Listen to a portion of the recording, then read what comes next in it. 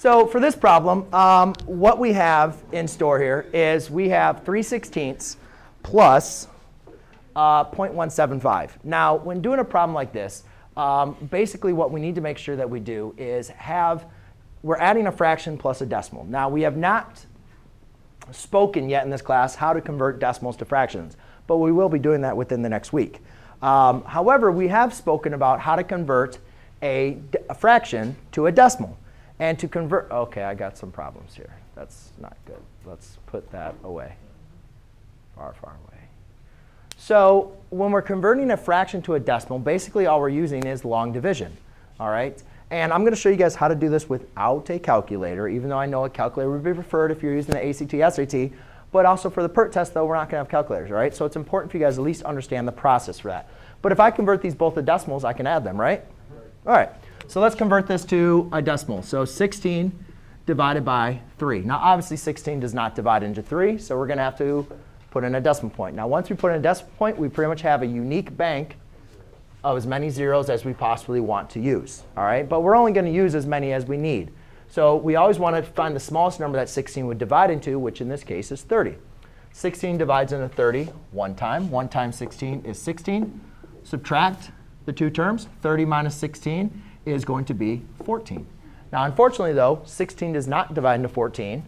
So we bring down one of our banks of our zeros.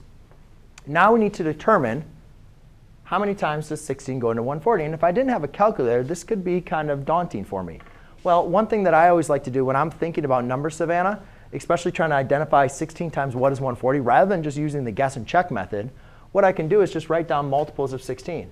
16, 32, 48, 64, 80, 96, and dot, dot, dot, dot, dot. You can keep on going. Um, but what I notice is now the next thing is anytime you take a multiple, if you multiply that multiple by 2, it's still a multiple of 16. For instance, 32 times 2 is 64. Is that a multiple? Yes. So what would be the, the largest number that I can multiply by 2 that would still be less than 140?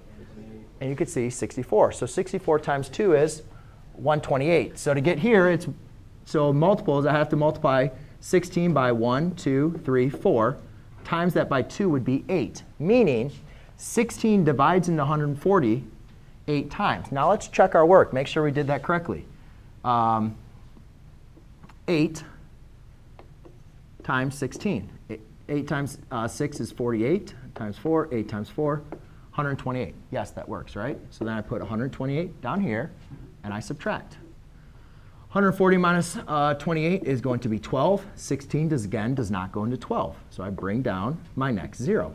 Now again, I can use that same thought process. 16 divided by, or how many times does 16 go into 128? Again, look at these numbers. What is the largest number that I can double to give me less than um, 120? Well, this was 128, so it has to be 48. 48 times 2 is 96.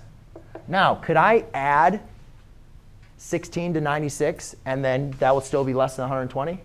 Yes. And when I do that, I so therefore, it goes in there 1, 2, 3 times 2 would be 6 times.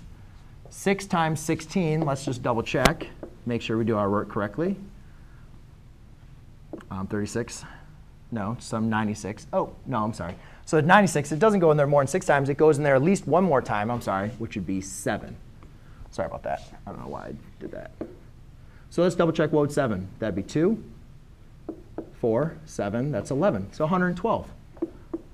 So I bring down 112, subtract. 120 minus 112 is 8. 16 does not go into 8. Bring down my last 0. Does 16 divide into 80? Yes, it divides in there 1, 2, 3, 4, 5 times. All right, I know, guys, this is a long way. You're like, I'm just going to use a calculator on the ACT, and that's fine. All right, but on the PERT test, they give you a problem like this. That's exactly what you'd have to do. All right.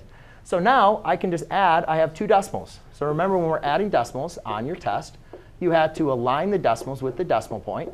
Any vacant spots will use 0. Now I basically just add using the vertical method. 5 plus 0 is 5. 7 plus 5 is 12. Carry over the 1. 7 plus 8 is 15. Plus 1 is 16. 1 plus 1 plus 1 is 3. And decimal point. So your final answer is 0.3 625, which is letter H. Anybody have any questions on that?